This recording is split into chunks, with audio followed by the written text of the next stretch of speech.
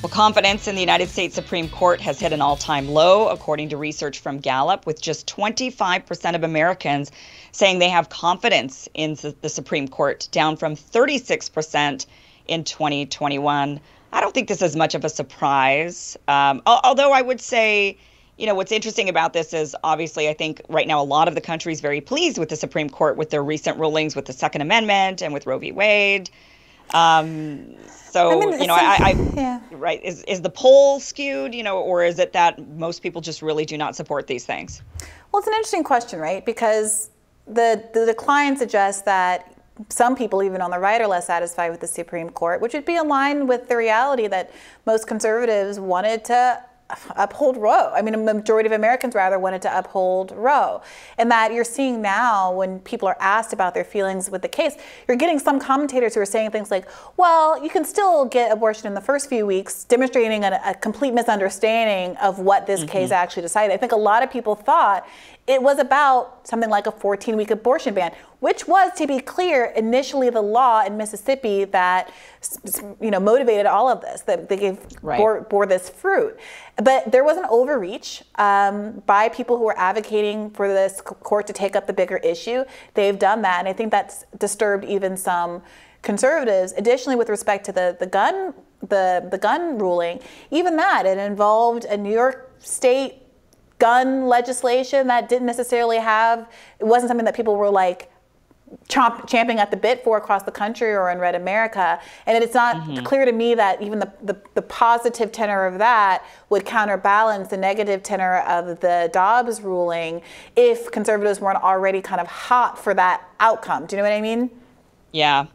Yeah, the, the, the recent ruling with, with the Roe v. Wade ruling is interesting in that you're right. The actual case itself was challenging a 15 week ban, I, I, believe, right? Was it that that that yeah, was what they were forced. asking mm-hmm. for? Yeah, and they instead the court went over and beyond.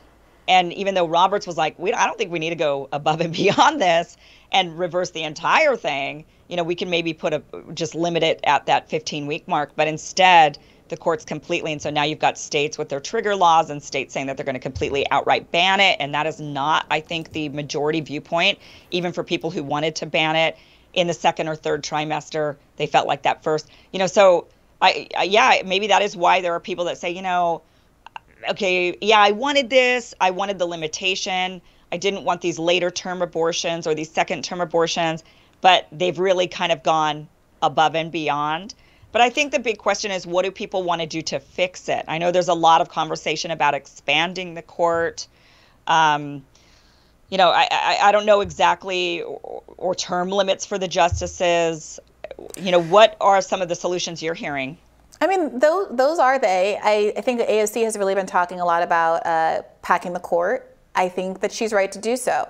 I think in a moment where there's this much frankly, bipartisan frustration with the court. Let's not forget there was a case a couple of weeks, weeks ago where the Supreme Court said that you basically don't have Fourth Amendment rights within 100 miles of the U.S. border, which is where the overwhelming majority of Americans live, is basically the entire state of Florida, the entire state of Michigan, uh, right? Because uh, border control agents, you have no legal recourse to sue them if they unlawfully enter your home uh, break your mm-hmm. belongings, et cetera, et cetera, et cetera. And a lot of conservatives, rightly, were concerned about that holding.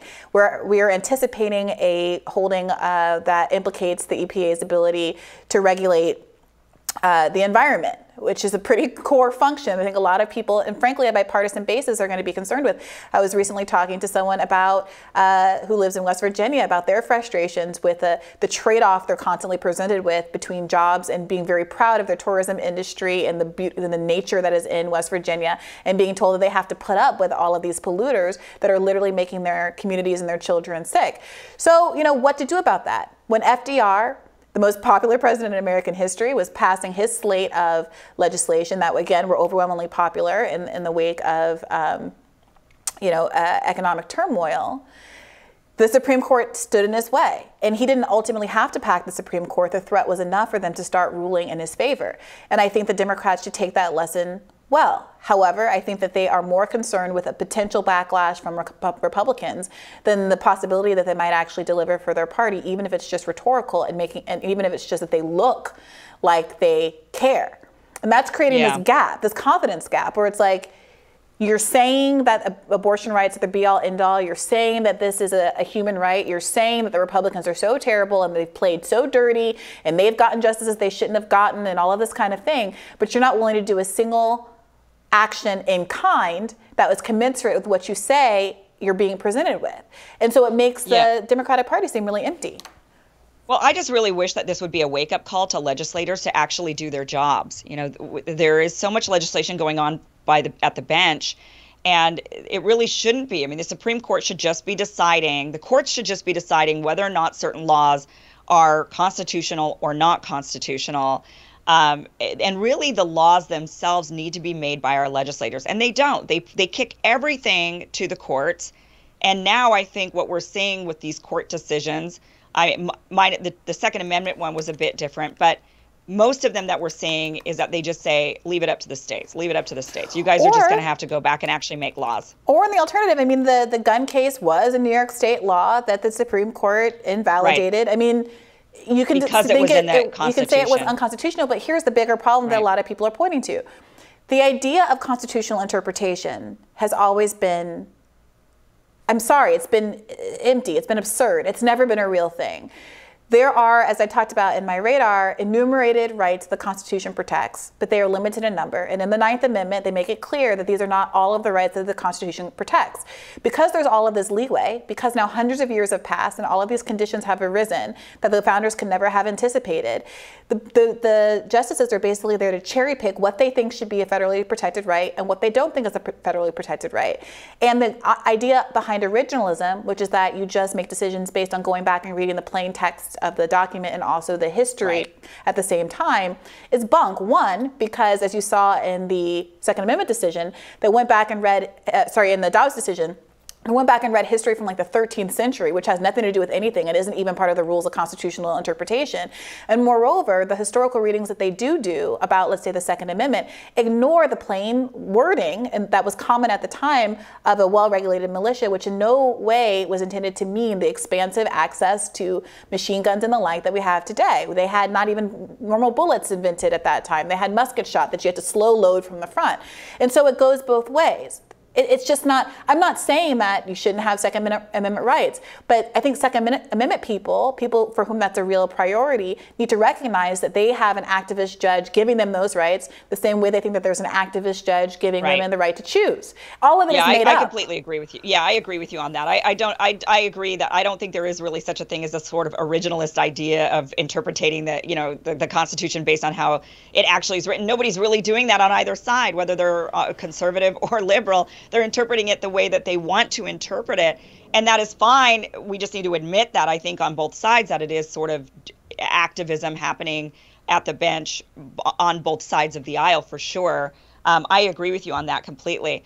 I think then the question now is again, what do we do about this? So I'm not the biggest fan of the idea of packing the court. I know you mentioned FDR. You know, his his his idea was I think it was um, he would want to replace. He wanted Congress to pass a law to allow him to replace justices that hit 70 years old. So basically, a uh, aging them out, and that they decide they ultimately didn't do it because they thought ah, that gives you a lot of power. There's a lot of old judges.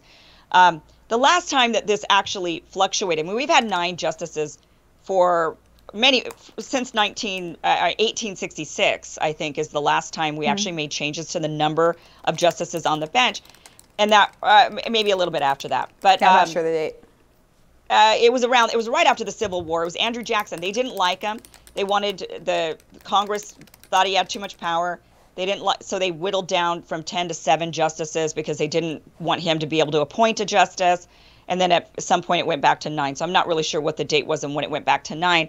But you know that was so. What what concerns me about that was the last time we really made these changes was coming out of a civil war, and I'm feeling the heat now. I'm feeling like we're kind of at that point in history where we're we're so contentious towards one another that I worry, you know, that we're headed towards something like a civil war. And so if we start doing things like changing the makeup of the court like we did during the Civil War era, I mean it just kind of to me is like one more indicator that we're in that we're in that contentious I, of a time period. I, I think that's right. And another point that I made in my radar was that, you know, the Dred Scott case in many ways precipitated the Civil War because it highlighted the extent to which a free a, a, state in which they decided slaves were free had to be beholden. If someone living in that state did not have rights, they were beholden to the rights of the, the, the slave state that they had left, right? And the outcome in that case, the Supreme Court saying that slavery was constitutional really lit the fire under the abolitionist movement and said, this shall not stand. And when Abraham Lincoln uh, issued the Emancipation Proclamation, he claimed constitutional authority, but of course there was nothing in the written text of the Constitution that actually gave him that authority. So we're seeing at the same time the feeling that people need power and authority from the Constitution to make moral claims. At the same time, that there right. never has been in the text of the Constitution for the overwhelming majority of people in this country real a real constitutional basis for them to be protected. And right. and so and then of course we had a civil war. To your point. So my issue is this. We spend a lot of time talking about statutory interpretation, originalism, um, these, the, the structural reality of is this person making the argument in the right way or that or the wrong way.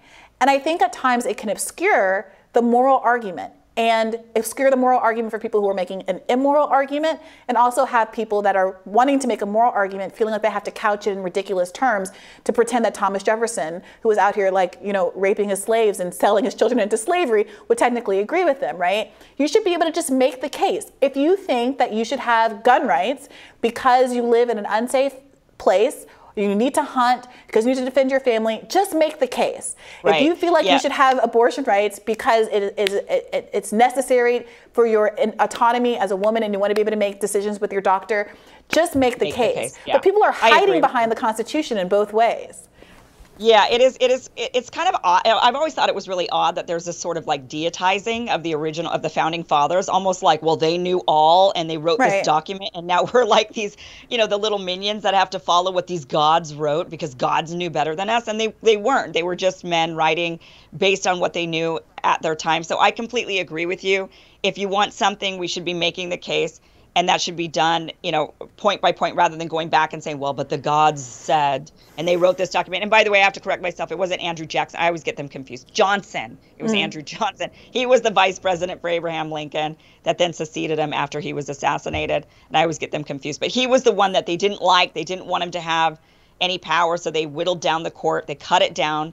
Um, to from 10 to 7 and then at some point it went back to 9 but i just really would like us not to go back to civil war days well, I mean, uh, arguably, there's an argument that you know, responding to some of the pressure and having a pressure release valve in doing something like maybe not packing the court, but getting rid of um, judicial review. I made an argument in Radar, I think, weeks and weeks ago that the court claimed for itself the power to review these cases, which again is not in the Constitution. To the extent that we want to be picking and choosing and playing games with the Constitution, it could be that you severely limit the power of the court so it can't hear many of these questions, and that will truly actually leave more things to the states instead of having it in the place place where it's often invalidating legislation um, that the states have decided for itself, whether it's you know abortion laws. People are now talking about a national abortion ban. Whether it's the the right to die, we saw conservatives really wanting to get uh, in the way of like uh, what was it, Oklahoma or Oregon's law that allowed people to do assisted uh, physician assisted suicide.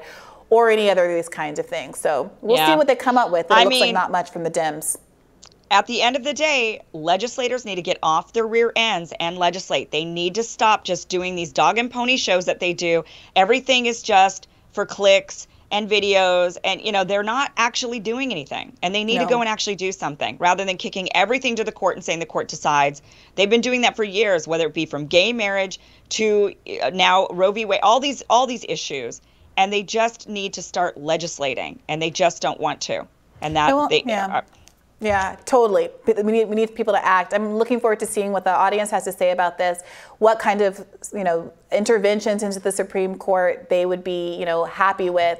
Uh, I think the the public is just being introduced to some of these ideas, and we'll have a, a lot of time in the future to talk about what the implications of them are more broadly. We will have more rising for you after this.